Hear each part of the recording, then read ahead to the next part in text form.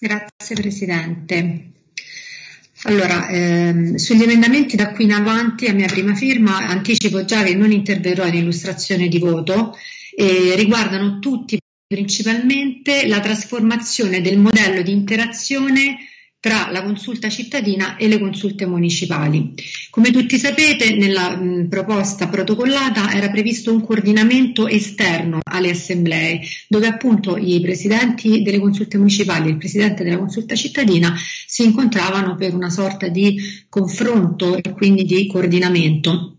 A seguito della richiesta ehm, diciamo molto sentita da parte della maggior parte delle consulte eh, per i diritti delle persone con disabilità, abbiamo optato per ehm, invece una, un nuovo modello.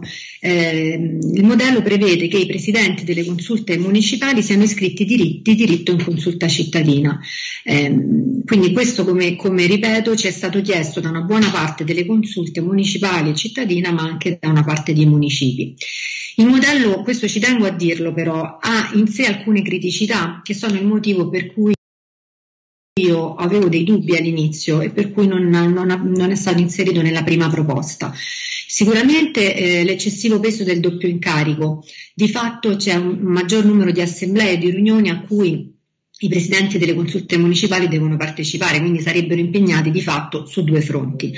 Poi eh, c'è anche la possibilità di uno sbilanciamento, quindi uno sbilanciamento potenziale tra le consulte e le associazioni presenti in assemblea cittadina, nel caso in cui queste ultime si iscrivessero in, in, in un numero di molto superiore rispetto ai, al numero dei presidenti. Infine c'è anche il problema della rappresentatività territoriale, cioè di fatto i presidenti delle consulte municipali devono scegliere tra di loro tre soggetti che li andranno a rappresentare nella commissione esecutiva cittadina. È chiaro che questi soggetti devono garantire di rappresentare tutti i territori di Roma Capitale.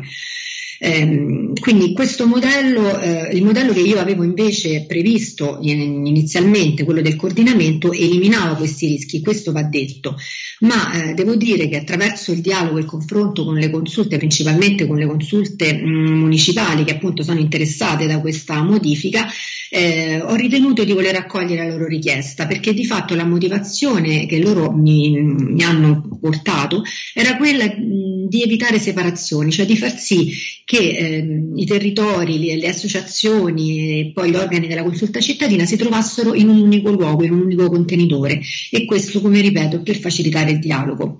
Sicuramente questo era uno dei principi e degli obiettivi del regolamento per cui ho ritenuto di accogliere. Eh, questo inserimento però è importante dirlo, non garantisce di fatto la partecipazione attiva dei singoli cittadini, questo perché lo sappiamo tutti, i municipi hanno autonomia nell'istituire le consulte municipali. Noi non possiamo obbligarli, possiamo sollecitarli sicuramente, ma non obbligarli. Quindi io da buon amministratore devo mettermi nella condizione anche estrema di non avere consulte municipali o di averne proprio po- troppo poche, per cui in consulta cittadina non avremo i territori rappresentati, non, avremo, non daremo mai la possibilità a cittadini singoli o a cittadini che appartengono a un certo territorio di essere rappresentati in consulta. Questo è un elemento, eh, a mio avviso, fondamentale per cui eh, questo modello, cioè l'inserimento comunque all'interno, ci tengo a dire che non esclude la presenza di soggetti singoli anche in consulta cittadina. Vedremo poi successivamente con quale modalità, una modalità sicuramente calmierata. Per cui ecco, sicuramente anticipo voteremo favorevolmente questo emendamento e altri che verranno a seguire che vanno, ripeto, a, mh, mm, di fatto eh, a, a, vanno incontro a questo modello che ho appena illustrato.